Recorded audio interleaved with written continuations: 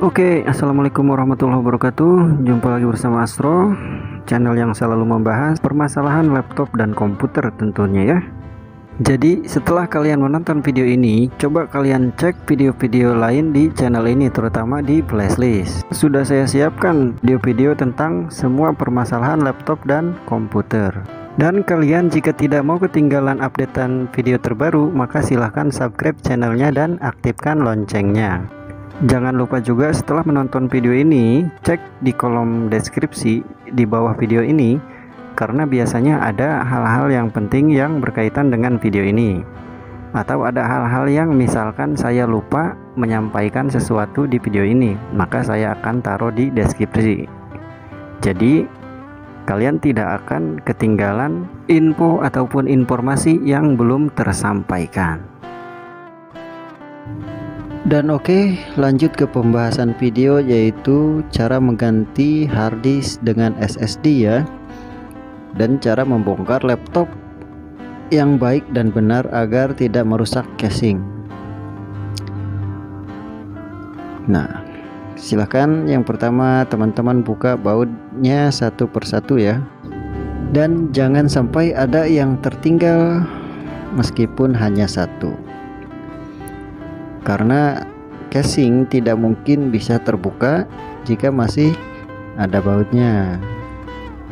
Meskipun kita paksa casing akan patah ataupun rusak ya.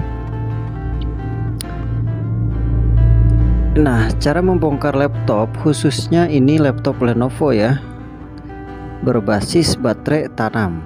Artinya jika laptop yang berbasis eh, baterai tanam tentunya harus bongkar semua.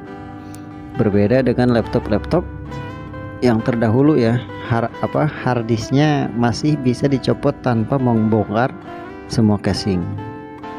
Nah bagi teman-teman yang laptopnya sama baterainya tanam caranya sama nih jika ingin mengganti harddisk dengan SSD jadi diperhatikan ya. Untuk merek Lenovo eh, caranya sama. Meskipun beda tipe tapi cara bongkarnya sama ya. Agar tidak merusak casing ataupun tidak terjadi konslet.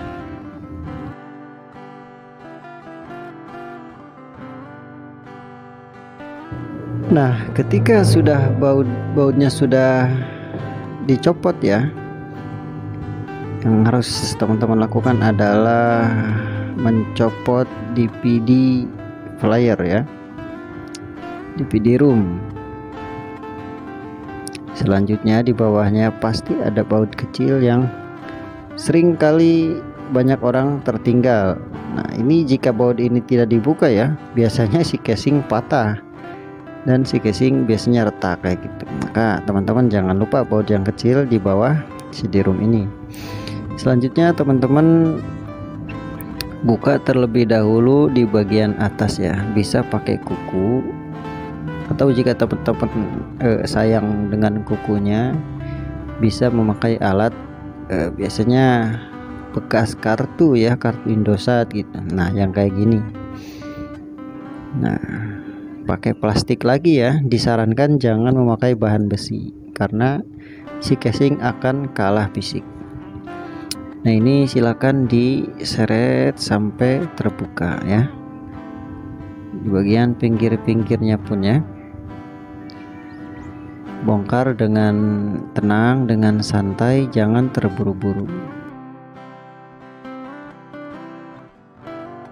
Nah ketika semuanya sudah terbuka silakan laptopnya dibalik. Nah seperti ini dan perhatikan posisi slot-slot USB-nya ya. Nah, cukup mudah kan cara membongkarnya?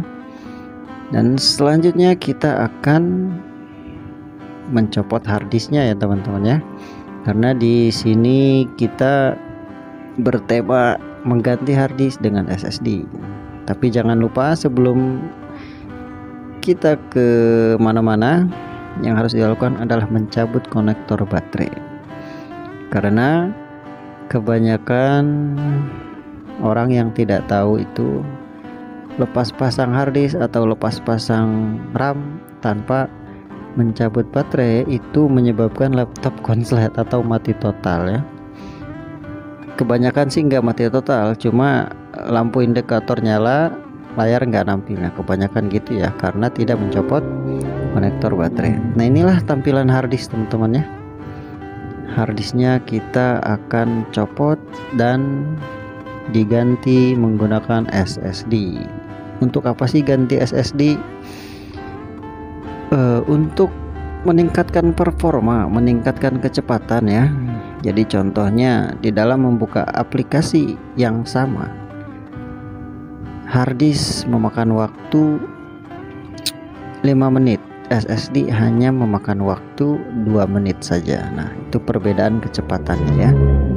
Jadi tak heran banyak orang-orang pindah ke SSD karena emang lebih cepat ya. Sini kita menggunakan SSD merek Apox. Apox merek yang ya tidak terlalu terkenal ya. Namun soal harga ya memang lumayan ramah Nah, cara pasangnya ini samakan dengan harddisk yang tadi ya. Jadi disamakan. Jangan salah jangan salah pasang. Ketika salah pasang nanti bautnya tidak tidak ini, tidak pas gitu ya. Nah, seperti inilah.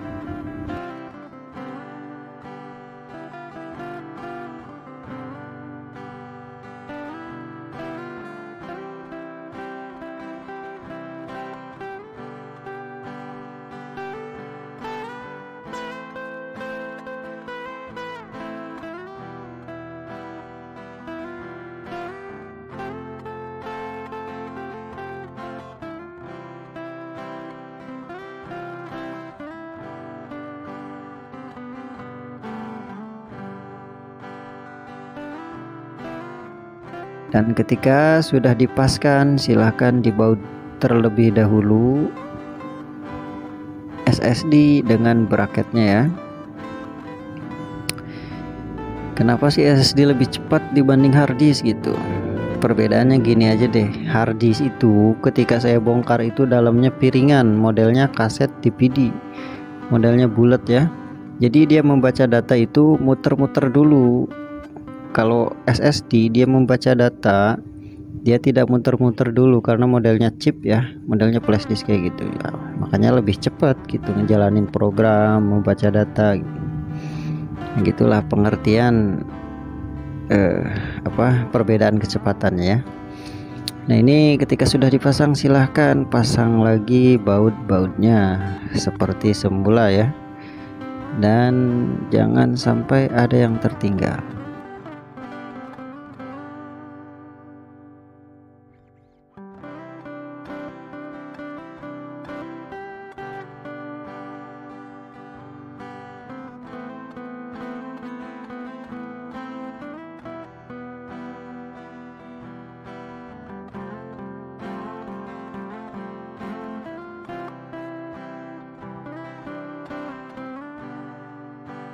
Ketika sudah, jangan lupa konektor baterai dipasang kembali ya.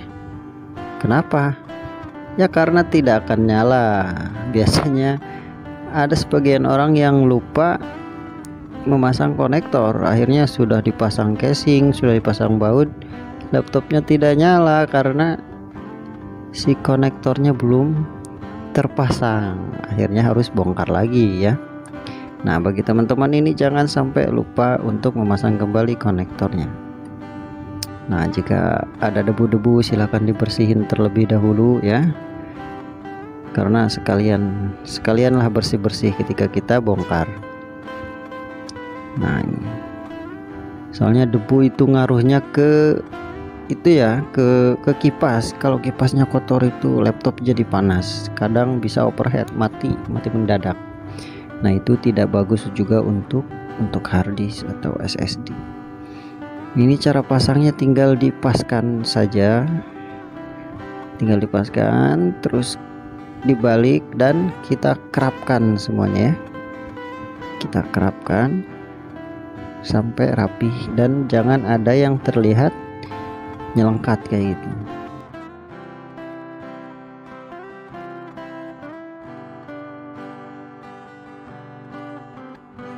Ketika sudah krep ya silahkan pasang lagi baut-baut yang di bawah CD-ROM nih yang sering lupa nih baut kecil tipis hitam tapi sangat berguna ya. Silahkan teman-teman pasang. Dan silahkan pasang-pasang semua bautnya ya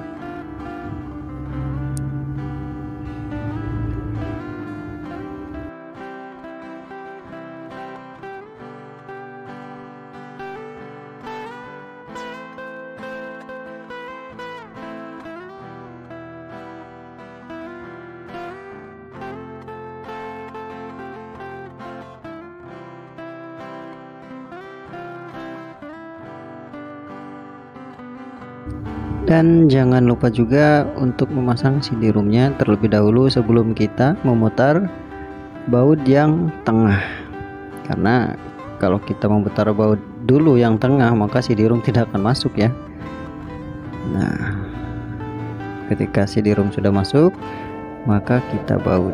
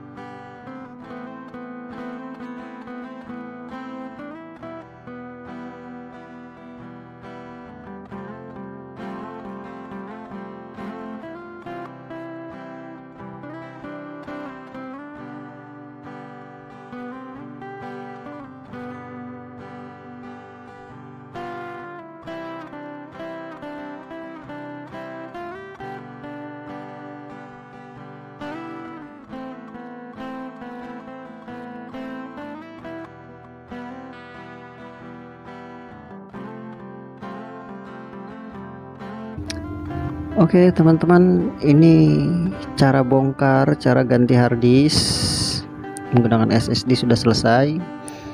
Dan langkah selanjutnya adalah dengan apa ya install Windows ya. Karena SSD atau harddisk baru itu tidak ada sistemnya maka teman-teman harus menginstal Windows terlebih dahulu ya.